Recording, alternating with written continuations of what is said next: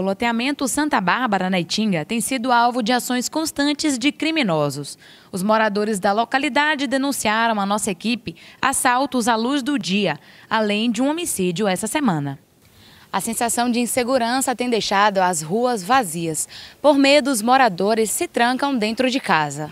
De uns tempos para cá, tem mudado a falta de segurança, muito assalto, falta de ronda também aqui e de um tempo para cá está rolando muito assalto. De manhã, de tarde, à noite, pode estar tá movimentado, pode não estar movimentado, ultimamente está acontecendo demais. Para denunciar algum problema no seu bairro ou rua, entre em contato com a gente pelo número 99230 1642.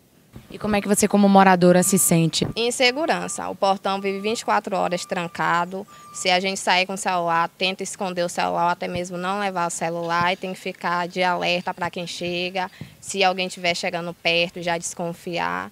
É de insegurança total.